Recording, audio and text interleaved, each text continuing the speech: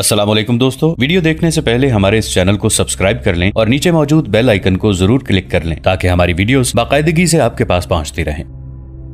उन्हें यह सबक हमेशा याद रहता था कि आधी जंग जासूस जंग शुरू होने से पहले ही जीत लिया करते हैं और ये भी कि सिर्फ़ एक जासूस की कोताही या गलत इत्तला अपनी पूरी फौज को मरवा सकती है और ये भी कि सिर्फ़ एक जासूस दुश्मन की फौज से हथियार डलवा सकता है।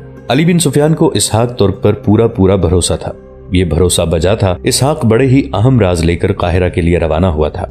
वो सुल्तान अयूबी को खबरदार करने आ रहा था कि बेल्डविन का फिरंगी लश्कर बैरूत के इर्द गिर्द दूर दूर तक फैल गया है और इज्जुद्दीन सलीबियों की तरफ़ झुक रहा है। इसलिए सुल्तान कहीं बैरूत की तरफ़ फौज न ले जाएँ और अगर उधर को ही पेशकदमी का इरादा हो तो इसहाक सुल्तान को फिरंगियों की फौज के फैलाव और पोजीशनों का नक्शा बताने आ रहा था।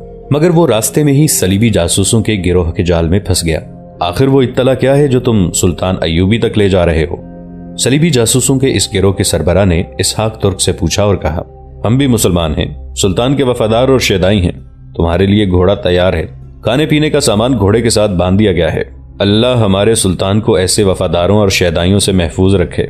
इसहाक ने कहा, मैंने उस लड़की को कहा था कि आधी रात के कुछ देर बाद मुझे जगा देना। मैं फ़ौरन रवाना होना चाहता था, मगर तुमने मुझे जगाया नहीं। आधा दिन गुजर गया है। वक्त अलग जाया हुआ है और अब मैं रवाना हुआ तो घोड़ा इतना सफ़र तय नहीं कर सकेगा जितना रात को कर सकता। तुम बहुत थके हुए थे, मेरीना ने प्यार से कहा।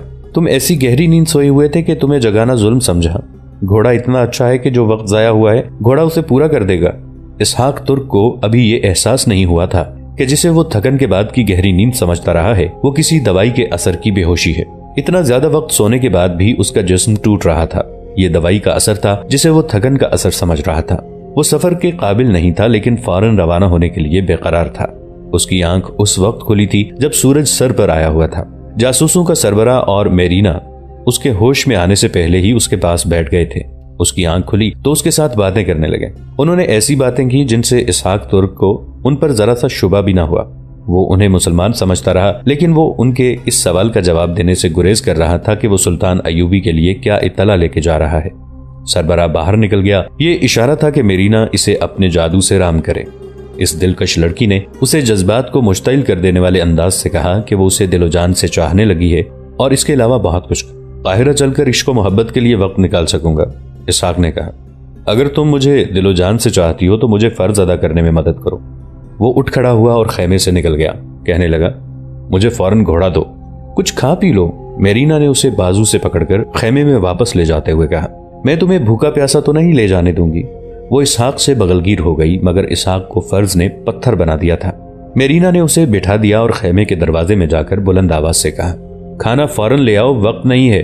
खाना बारबरा लेकर आई। और इसहाक के आगे रखकर पीछे हट गई।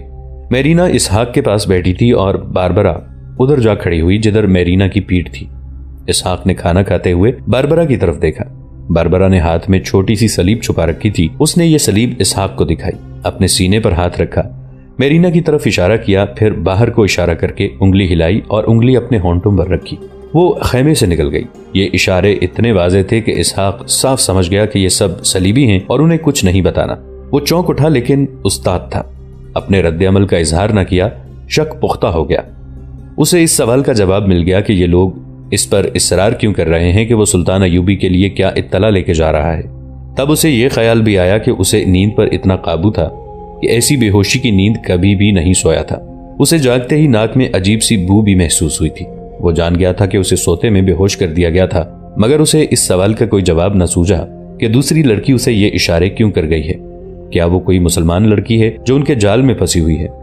मेरीना उसे बड़ी ही प्यारी बातों और मसूर कर देने वाली मुस्कुराहटों और अदाओं से अपने जाल में फंसाने की कोशिश कर रही थी और इसहाक का दिमाग बड़ी तेज़ी से सोच रहा था कि वो क्या करे और इन लोगों से किस तरह रिहाई हासिल करे। उसने मेरीना से पूछा कि इस काफिले में कितने आदमी हैं? मेरीना ने बता दिया, कुछ और बातें पूछी और कहा, चलो मुझे घोड़ा दो। वो बाहर निकल गया। वो देखना चाहता था कि बाहर कितने आदमी हैं और उसके निकल भागने के इम्कान क्या हैं। बाहर उसने कोई घोड़ा न देखा जो उसे बताया गया था कि उसके लिए तैयार खड़ा है। मेरीना उसके पास आन खड़ी हुई। घोड़ा कहाँ है? इसाक ने पूछा। मैं जाकर देखती हूँ। वो चली गई। तुम ठीक कहते थे। मेरीना ने अपने सरबराह को जाकर बताया। ये शख्स पत्थर है। वो घोड़े के सिवा कोई बात नहीं करता। हम जो पूछते हैं उसका नाम नहीं लेने देता। इसे कोई शक तो नहीं हुआ? अभी नहीं, मेरीना ने जवाब दिया। लेकिन वो बताएगा भी नहीं। इसका मतलब यह है कि तुम नाकाम हो गई हो। उन्हें मालूम नहीं था कि बारबरा ने उनसे इंतकाम लिया है और उसने ये साबित कर दिया है कि मेरीना कोई जादूगरनी नहीं जो नामुमकिन काम भी कर दिखाए। वो तो ये सोच रही थी कि सुल्तान अयूबी के इस जासूस को वहाँ से भाग जाने में मदद दे, लेकिन ये मुमकिन नज़र नहीं आता था। इसहाक फिर खेमे से निकल गया। उसने मेरीना और उसके सरबरा को देख लिया। वो दूर खड़े बातें कर रहे थे। वो उनकी तरफ़ दौड़ा गया और पूछा कि घोड़ा कहाँ है? कहीं भी नहीं है। सरबरा ने बिल्कुल ही बदले हुए लहजे में कहा, तुम कहीं भी नहीं जा सकोगे। इसहाक ने अपनी कमर पर हाथ रखा। वहाँ न तलवार थी, न खंजर। उसने उन लोगों की असलियत जान लेने के बावजूद कहा, मैं हैरान हूँ कि तुम मुसलमान होते हुए मेरे रास्ते में आ रहे हो। अगर हमसे इज़्ज़त कराना चाहते हो तो बता दो कि अपने सुल्तान के लिए क्या पैगाम लेकर जा रहे हो। सरवरा ने पूछा, सिर्फ़ इतना सा पैगाम है कि हमारे एक अमीर इज्जुद्दीन ने नूरुद्दीन जंगी की बेवा के साथ शादी कर ली है। इसहाक ने कहा यह खबर पुरानी हो गई है। सरबरा ने कहा, तुम्हारा सुल्तान दो माह गुजरे, ये खबर सुन चुका है। और वो अपनी फौज को शाम में लड़ाने के लिए तैयार कर रहा है। सही बात बताओ। क्या तुम सही बात बता दिया करते हो? इसहाक तुर्क ने पूछा। तुम्हें सही बात बतानी होगी, सरबरा ने कहा। और तुम्हें हमारे साथ चलना होगा। तुम निहत्ते हो। निहत्ते ना भी होते तो इतने आदमियों से लड़ ना सकते। सुनो दोस्त, मैं तुम्हारे ज़िंदा रहने और शहजादों की तरह ज़िंदा रहने की एक सूरत पैदा कर सकता हूँ। मेरी तजवीज मंजूर कर लो। हमारे साथ चलो। हमारे लिए यही काम करो जो सलाहुद्दीन अयूबी के लिए कर रहे हो। और जरो जवाहरात में खेलो। उसने मेरीना की तरफ़ इशारा करके कहा, इस किस्म की लड़कियाँ तुम्हारी खिदमत के लिए हाजिर रहा करेंगी। क्यों सहराओं में मारे मारे फिर रहे हो? मैं सलीब के लिए काम करूँ। नहीं करोगे तो हमारे किसी कैद खाने के तहखाने में बंद रहोगे, सरबरा ने कहा। वो ऐसा जहन्नुम होगा कि ना मरोगे, ना ज़िंदा रहोगे। तुम इस सजा का तस्वुर भी नहीं कर सकते। तस्वुर भी हौलनाक है। सोच लो और हमारे साथ चलो। वापस तो नहीं जा सकोगे। तुम मुझ पर एतबार किस तरह करोगे? इसहाक तुर्क ने कहा, मैं तुम्हारे गिरोह में शामिल हो जाऊँ, तुम मुझे मेरे ही इलाके में भेजोगे। तुम किस तरह यकीन करोगे कि मैं अपने ही इलाके में नहीं रह जाऊँगा और तुम्हें धोखा नहीं दूँगा? हमारे पास इसका इंतज़ाम है, सलीबी सरबरा ने कहा। तुम अपने इलाके की बात कर रहे हो।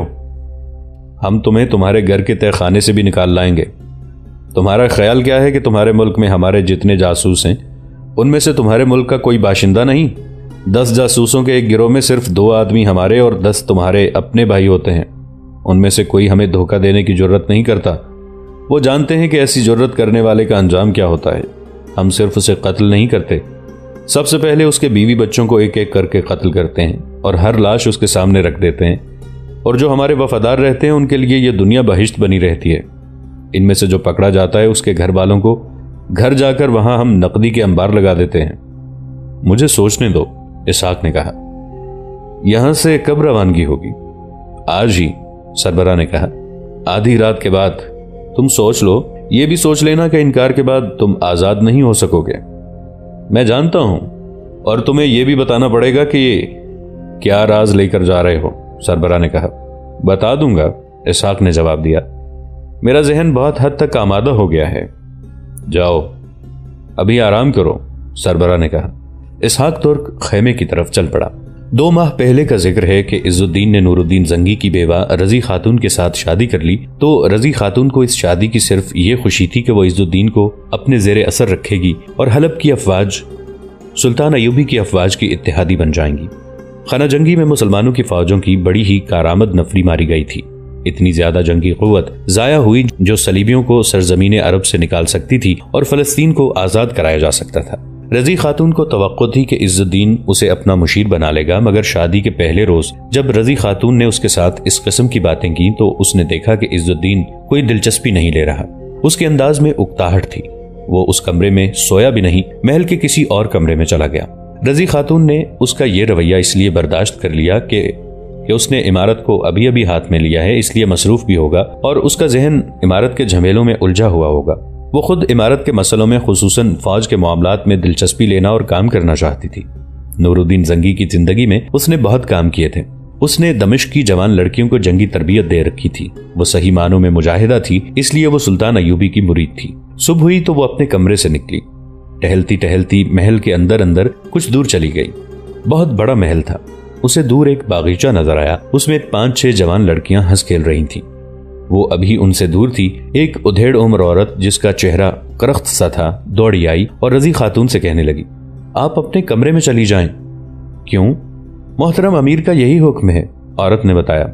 आइए, मैं आपको वो जगह बताऊँ जहाँ आप घूम फिर सकती हैं। उन्होंने सख्ती से हुक्म दिया है कि आपको इधर ना आने दिया जाए। अगर मैं ये हुक्म ना मानूं तो क्या होगा? रज़ी खातून ने पूछा। मुझे गुस्ताखी का मौका ना दें, औरत ने इल्तजा के लहजे में कहा। मुझे आका का हुक्म मानना है और मनवाना भी है।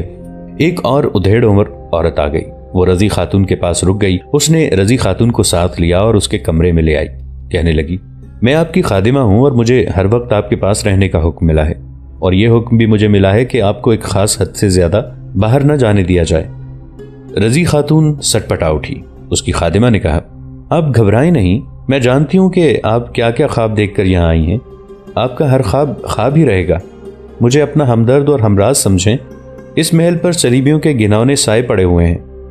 आपका बेटा इनके हाथों में खिलौना बना रहा है।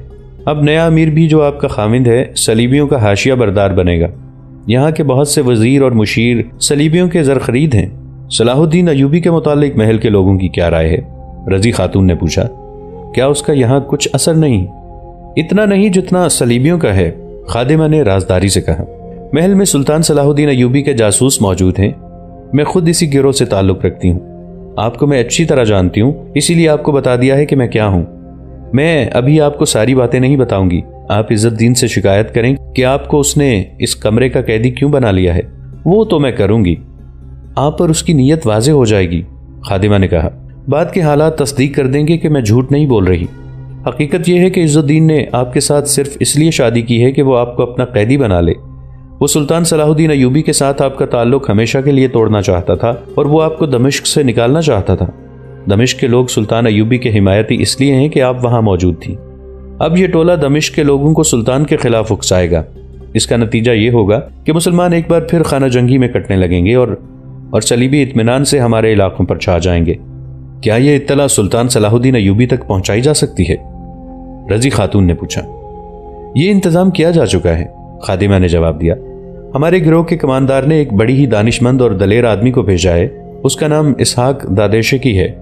वो तुर्क है, मैं उसे अच्छी तरह जानती हूँ। आपके बेटे की वफात के बाद वो सलीबियों के इलाके में यह देखने निकल गया था कि सलीबियों के अजायम क्या हैं। वो आ जाएगा। मुझे मिल सकेगा? ज़रूर मिलवाऊँगी, खादिमा ने जवाब दिया। मुझे अपने कमानदार ने कहा था कि ये बातें आपको बता दूँ। खादिमा ने रज़ी खातून को महल की अंदरूनी दुनिया के इसरार बताकर उसके पाँव तले से ज़मीन निकाल दी। वो उन ख्वाबों से बेदार हो गई, जो देखकर उसने वाली हलब इजुद्दीन के साथ शादी कर ली थी। रज़ी खातून अजीम औरत थी। इस्लाम की तारीख साज मुजाहिदा थी। अपने मरहूम खाविंद नूरुद्दीन जंगी और पासबान इस्लाम सलाहुद्दीन अयूबी की तरह रज़ी खातून भी जैसे सलीबियों के खिलाफ लड़ने और सल्तनत इस्लामिया के इतिहाद और वसत के लिए पैदा हुई थी। अगर खादिमा ने उसे जो राज बता दिया था, वो हकीकत था। तो इस अजीम मुजाहिदा की कमन टूट चुकी थी और उसकी तलवार कुंद करके उसे कैदी बना लिया गया था। इसकी नौजवान बेटी शमसुन्निसा इसी महल में थी, जिसके साथ अभी इसकी मुलाकात नहीं हुई थी। यहाँ हम आपको याद दिला दें कि शमसुन्निसा की उम्र अपने बाप नूरुद्दीन जंगी की वफात के वक्त आठ नौ साल थी। उसका बड़ा और वाहिद भाई अलमुल्क साले ग्यारह साल का था, जिसे जंगी की वफात के बाद मफाद परस्त उमारा और फौजी हुक्काम ने सुल्तान बना दिया था। उसे वो कठपुतली बनाना चाहते थे। सुल्तान अयूबी इस तबाहकुन सूरत हाल पर काबू पाने के लिए मिस्र से आए। ये एक किस्म की फौज कुशी थी। जंगी की बेवा रज़ी खातून की कोशिशों से दमिश्क पर सुल्तान अयूबी का कब्जा हो गया।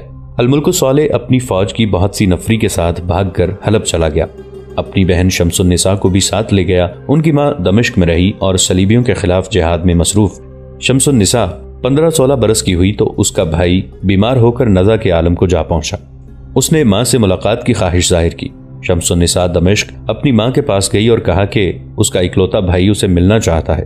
रज़ी खातून ने साफ़ इनकार कर दिया और कहा कि उसके लिए वो उसी रोज मर गया था, जिस रोज वो सुल्तान बना था और उसने सलाहुद्दीन अयूबी के खिलाफ तलवार उठाई थी। शमसुन्निसा वापस चली गई थी। उसका भाई अलमुल्क साले मर चुका था। अब शमसुन्निसा की माँ रज़ी खातून इसी महल में, जहाँ उसका बेटा मरा था, अपने बेटे के जानशीन इज्जुद्दीन की बीवी बनकर आई। उसे अपनी बेटी जो इसी महल में ही हो सकती थी, मिलने न आई। रज़ी खातून ने खादिमा से पूछा कि उसकी बेटी कहाँ है और वो क्या उसे मिल सकती है? वो यही है, खादिमा ने जवाब दिया। ये आप अपने आका से पूछ लीजिए। कि आप शमसुन्निसा से मिल सकती हैं या नहीं? अगर इस पर भी पाबंदी हुई तो मैं चोरी छुपे मुलाकात करवा दूँगी। तुमने अपने गिरोह के जिस कमानदार का ज़िक्र किया है, उसके साथ मेरी मुलाकात हो सकती है? रज़ी खातून ने पूछा। कुछ दिन गुजर जाने दें, खादिमा ने जवाब दिया। ये पता चल जाए कि आप पर क्या पाबंदी आयत हुई है। आने वाले हालात के मुताबिक हर एक मुश्किल का हल निकल आएगा। आपकी शादी अचानक हुई और इतनी जल्दी हुई कि हम सबको बाद में खबर हुई, वरना आपको पहले ही खबरदार कर दिया जाता कि शादी की इस पेशकश को कबूल न करें। और मैं ये किस तरह यकीन कर लूँ कि तुम मेरी हमदर्द हो और मेरे ही खिलाफ जासूसी नहीं कर रही? रज़ी खातून ने पूछा। खादिमा के होंठों पर मुस्कुराहट आ गई। रज़ी खातून को गहरी नज़रों से देखते हुए बोली अगर मैं कोई अमीर कबीर औरत होती, किसी महल की शहजादी होती, किसी शहजादे की बीवी होती और मेरी हैसियत आप जितनी होती तो आप मुझसे ऐसा सवाल कभी ना पूछती। आप हर झूठ को सच मानकर धोखे का शिकार हो जाती। मेरी हैसियत ऐसी है कि मेरा सच भी झूठ लगता है। क्या आपको अभी तजर्बा नहीं हुआ कि सदाकत और जज्बा सिर्फ़ गरीबों के दिलों में रह गया है? आपको आने वाले हालात बताएँगे कि आपको किस पर एतबार करना चाहिए? एक गरीब खादिमा पर या हलब के बादशाह पर जो आपका खामिंद है? आप मुझ पर एतबार करने का खतरा मूल ले लें और दुआ करें अल्लाह आपकी और हमारी मदद करे। खादिमा कमरे से बाहर निकल गई। रज़ी खातून उलझे उलझे ख्यालों में भटक रही थी। वो कमरा जिसकी सजावट और जिसका सामान शाहाना था, उसे जहन्नम की तरह नज़र आने लगा। दो तीन रोज रज़ी खातून को इज्जुद्दीन नज़र न आया। उसे कमरे में खाना वगैरह पहुँचा दिया जाता रहा। खादिमाएँ उसकी हाजिरी में खड़ी रहीं। उसके आराम और दीगर जरूरियात का ख्याल इस तरह रखा जाता था जैसे वो कोई मलिका हो, मगर ये शहनशाही उसे जहनी अजियत दे रही थी। वो एक सुल्तान की बेवा थी। उसकी ज़िंदगी में भी उसने अपने आप को कभी मलिका या शहजादी नहीं समझा था। उसकी सिर्फ़ ये ख्वाहिश थी कि मर्दों के दोष बदोश मैदान जंग में जाए, सहराओं में लड़े और उसे शहीदों में से उठाया जाए। एक रोज इजुद्दीन उसके कमरे में आ गया और मसरूफियत की बिना पर इतने दिन ना आ सकने की माजरत की। मैंने आपकी गैर हाजिरी की शिकायत तो नहीं की, रज़ी खातून ने कहा। मैं दुल्हन बन के नहीं आई। मेरे दिल में ऐसी भी कोई ख्वाहिश नहीं कि आप हर वक्त मेरे साथ रहें या हर रात मेरे साथ गुजारें। मेरी आधी से ज़्यादा अजवाजी ज़िंदगी तन्हाई में गुजरी है। नूरुद्दीन जंगी मरहूम महाज पर होते थे और मैं उनके नहीं, उनकी लाश के इंतज़ार में रहती थी। महाज पर ना हूँ तो सल्तनत के उमूर और फौज की तरबियत में मसरूफ रहते थे, लेकिन वहाँ भी मैं मसरूफ रहती थी। सल्तनत के कामों की निगरानी और शहीदों के घरों की देखभाल मेरे सपोर्ट थी। मैं जवान लड़कियों को जख्मियों की मरहम पट्टी, तेगजनी, तीरंदाजी और घुड़सवारी की तरबियत देती थी। वहाँ मैं एक कमरे में कैद नहीं थी, जिस तरह यहाँ बंद कर दी गई हूँ। यह कैद मुझे पसंद नहीं। मैं ये नहीं कहता था कि नूरुद्दीन जंगी मरहूम ने सल्तनत के कई काम अपनी बीवी के सपोर्ट करके अच्छा नहीं किया इजुद्दीन ने कहा। लेकिन मैं किसी से यह नहीं कहलवाना चाहता कि हलब की किस्मत बनाने और बिगाड़ने में एक औरत का हाथ है। तुम मेरी बीवी हो, मैं तुम पर कोई ऐसा बोझ नहीं डालना चाहता जिसका ताल्लुक अजदवाजी ज़िंदगी से नहीं। चूँकि रज़ी खातून को इजुद्दीन की नीयत का पता खादिमा से चल चुका था, इसलिए उसने अपने इस दूसरे खामन की ऐसी बातों से अपने आप को इस खुद फरेबी में मुबतला न किया कि वो प्यार का इजहार कर रहा है। वो एक ही बार आज ही उसकी नीयत को बेनकाब करने का इरादा किए हुए थी। वो कम उम्र लड़की नहीं थी, एक तजर्बाकार औरत थी।